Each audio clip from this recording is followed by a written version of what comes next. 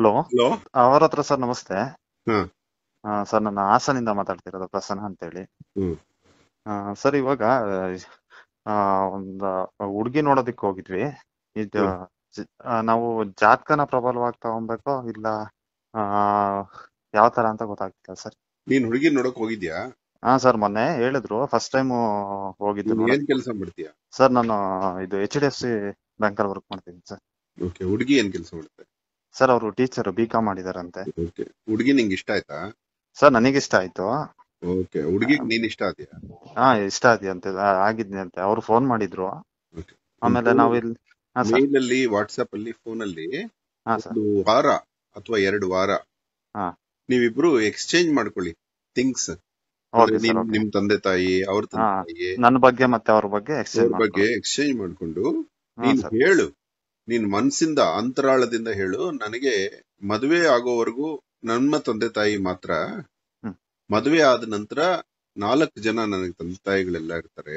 ಅದು ನಿನ್ನ ತಂದೆ ತಾಯಿ ಮತ್ತೆ ನನ್ನ ತಂದೆ ತಾಯಿ. ಇದು ನನ್ನ ಥಾಟ್. ನಿನ್ ಥಾಟ್ ಇದೇನಾ ಅಂತ ಕೇಳು. ನೀನು ನನ್ನ ಪ್ರೀತಿ ನಿನ್ನ ತಂದೆ ತಾಯಿಗಳ ಬಗ್ಗೆ ಸ್ವಲ್ಪ ವ್ಯತ್ಯಾಸ ಆದ್ರೂ ನೀನು ನನ್ನ ತಂದೆ ತಾಯಿಗಳ ಬಗ್ಗೆ ಪ್ರೀತಿ ವ್ಯತ್ಯಾಸ ಮಾಡಿದ್ರು ನನ್ಗೆ ಅಭ್ಯಂತರ ಇಲ್ಲ.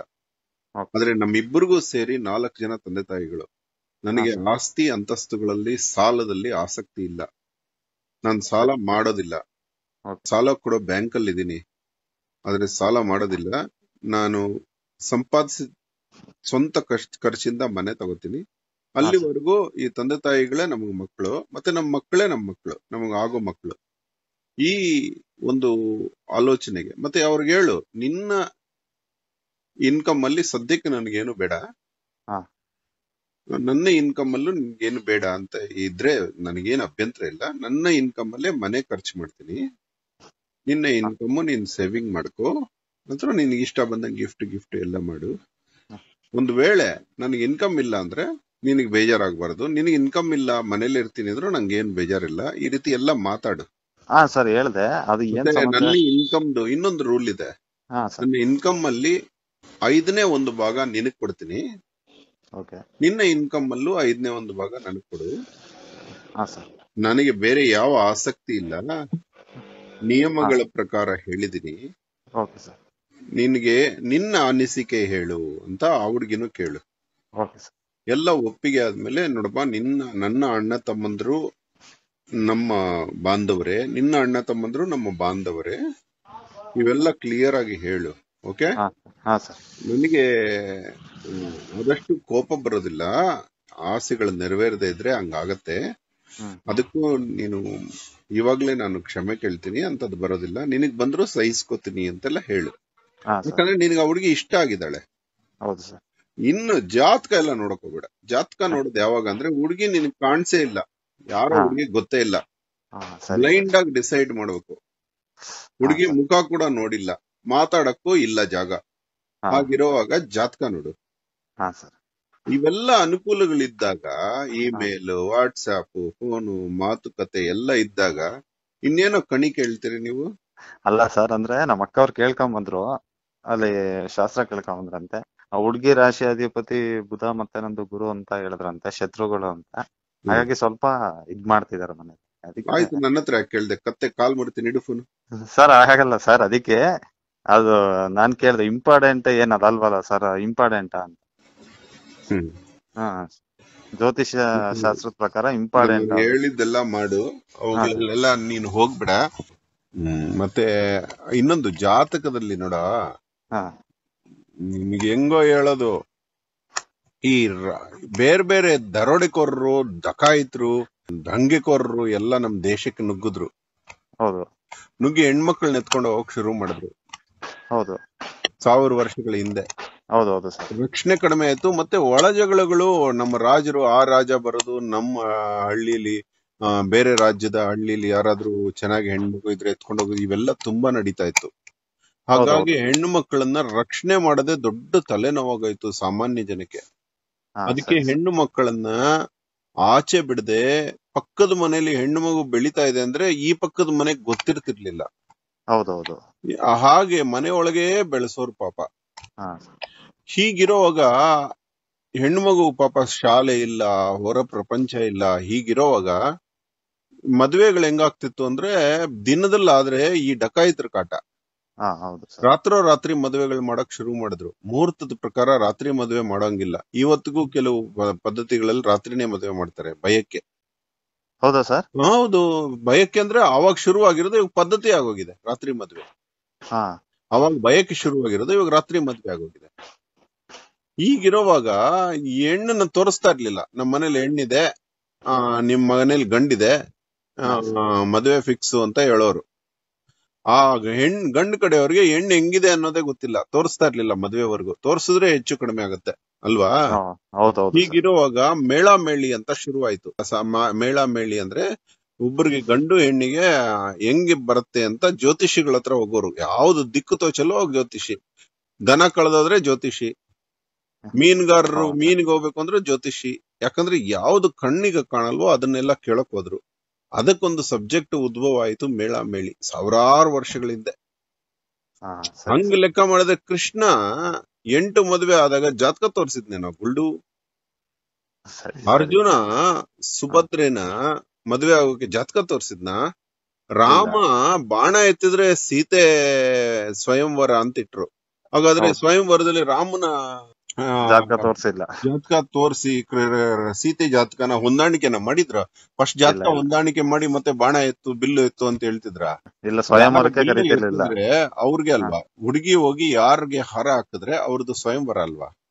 ಅವಾಗ ಯಾಕೆ ಜಾತಕ ಇಲ್ಲ? ಅರ್ಥ ಆಯ್ತಾ? ಇದು ಇದೆಲ್ಲ ಪದ್ಧತಿಗಳು ತುಂಬಾ ಚೆನ್ನಾಗಿ ಮಾಡಿದ್ದಾರೆ. ಅದಕ್ಕೆ ತಲೆ ಬಾಗ್ಬೇಕು. ಗುಣಗಳು ಕೂಟಗಳು ಇವೆಲ್ಲ ತುಂಬಾ ಚೆನ್ನಾಗಿ ಮಾಡಿದ್ದಾರೆ. ಆದ್ರೆ ಇಂಥ ಸಂದರ್ಭದಲ್ಲ ನಿನ್ನಂತ ಕೇಸಲ್ಲಲ್ಲ ಅದು. ನಿನಗೇನ್ ಬೇಕಾಗಿದೆ? ಆ ಹುಡುಗಿ ಮಾತಾಡಕ್ ಸಿಕ್ಕಿದಾಳೆ ಹೌದು ಸರ್. ನೋಡೋಕ್ ಸಿಕ್ಕಿದಾಳೆ ಅರ್ಥ ಮಾಡ್ಕೊಳಕ್ ಸಿಕ್ಕಿದೆ. ಹ್ಮ್. ಇನ್ನೊಂದ್ಸಲ ಈ ಪ್ರಶ್ನೆ ಕೇಳಿದ್ಯಾ? ಏನೋ ನೋಡು ಚೆನ್ನಾಗಿರ್ಲ ಹೇಳ್ತಾ ಏನ್ ಹೇಳಿದ್ರು ನೋಡು ಬುಧ. ಎಷ್ಟು ಪವಿತ್ರ ಗ್ರಹ. ಬುಧ ಗುರುವಿನ ಪತ್ನಿಯ ಮಗ. ಅಂದ್ರೆ ತಾರೆಯ ಮಗ. ತಾರೆಯ ಅದ್ ಕತೆ ಹೇಳೋದು ಬೇಡ ಚೆನ್ನಾಗಿರಲ್ಲ ನಿಮ್ಗೆ. ಯಾಕಂದ್ರೆ ನೀವೆಲ್ಲ ಅಪಾರ್ಥ ಮಾಡ್ಕೊಳ್ಳೋದು ಜಾಸ್ತಿ. ಸರ್ ಹಾಗೇನಿಲ್ಲ ಸರ್. ಮಕ್ಕಳೆಲ್ಲಾದ್ರೂ ಗುರು ಬುಧನ್ಗೆ ಗುರು ಅಂದ್ರೆ ತುಂಬಾ ಗೌರವ. ತಂದೆ ಬಗ್ಗೆ ಎಷ್ಟು ಗೌರವನೋ ಅಷ್ಟೇ ಗೌರವ. ಗುರು ಸ್ವಲ್ಪ ಮಾತಾಡ್ತಿರ್ಲಿಲ್ಲ ಅಷ್ಟೇ ಬುಧನ್ನ.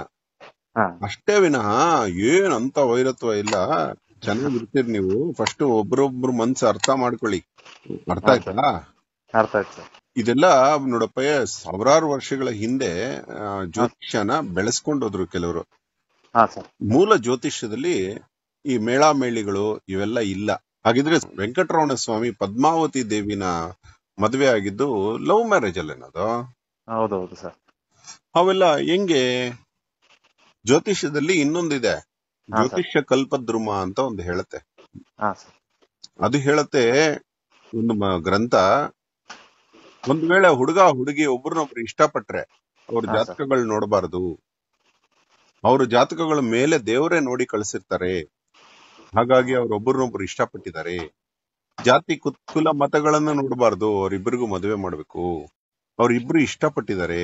ಮನಸ್ಸ ವಚಸ್ಸ ತನುಸ ಇಷ್ಟಪಟ್ಟಿದ್ದಾರೆ. ಹಾ ಸರ್. ಹೀಗಿರುವಾಗ ಜಾತಕ ನೋಡಬಾರ್ದು. ಒಂದ್ ವೇಳೆ ಹುಡುಗ ಏನಂದ್ರೆ ಈ ಆಸ್ತಿ ಪಾಸ್ತಿಗಳ ವಿಚಾರದಲ್ಲಿ ಕೂಡ ನಮ್ಮ ದೇಶ ಕಲುಷಿತವಾಯಿತು. ಬೇರೆಯವ್ರ ಹೆಣ್ಣು ಮಗು ಬಂದು ನಾನ್ ಕಷ್ಟಪಟ್ಟಿರೋ ಆಸ್ತಿ ನನ್ನ ಮಗನಿಗೆ ಸಿಗ್ತಾ ಇದೆ. ಆ ಆಸ್ತಿನ ಬೇರೆ ಹೆಣ್ಣು ಮಗು ಬಂದು ಹೆಂಗ್ ಎಂಜಾಯ್ ಮಾಡ್ಬೇಕು ಅಂತ ತಾಯಿ ಏನ್ ಮಾಡೋಳು? ನನ್ನ ತಮ್ಮನ ಮಗಳನ್ನೇ ಮದ್ವೆ ಆಗಿ ಅಂತ ಶುರು ಮಾಡಿದ್ಲು. ನಮ್ಮ ಆಸ್ತಿ ನಮಗೆ ಸಿಗ್ಲಿ. ನಮಗೆ ಸಿಗ್ಲಿ. ತಂಗಿ. ಮಗುನ ಮದ್ವೆ ಆಗ್ಲಿ ಅಂತ ಅಪ್ಪ ಹೇಳೋನು.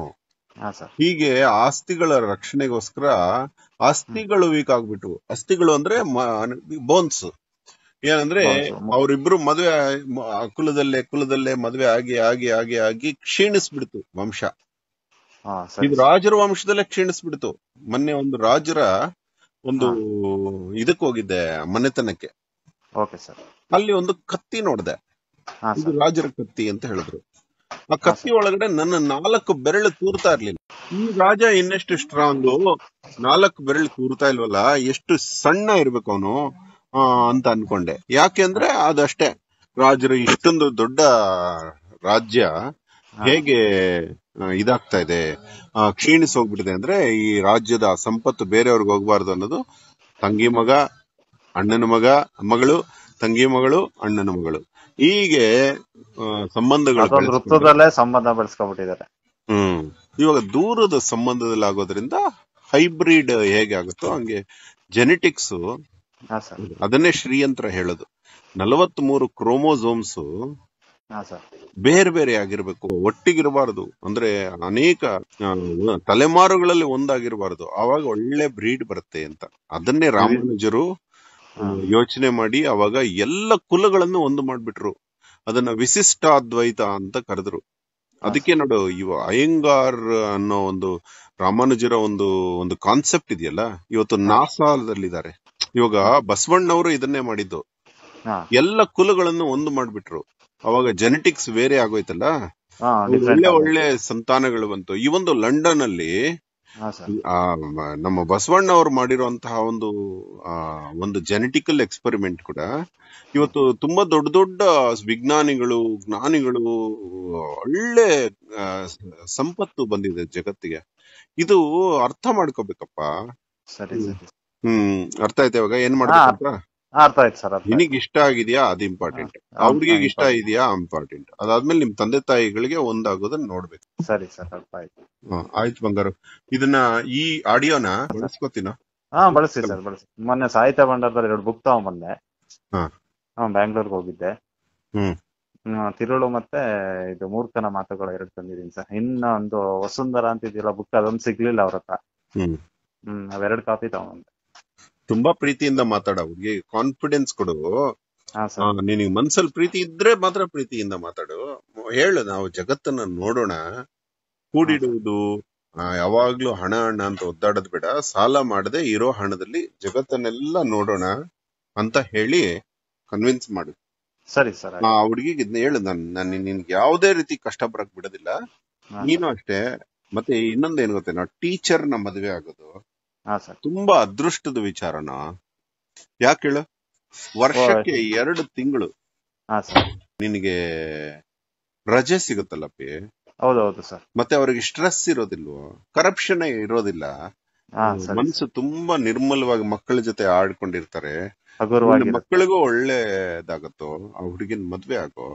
ಸರಿ ಸರ್. ಹ್ಮ್. ಥ್ಯಾಂಕ್ ಯು ಬಂಗಾರು. Thank you sir. ಇದನ್ನ ಫೇಸ್ಬುಕ್ ಅಲ್ಲಿ ಹಾಕ್ತಾ ಇದೀನೋ? ಹಾ ಸರಿ ಸರ್. ಧನ್ಯವಾದಗಳು.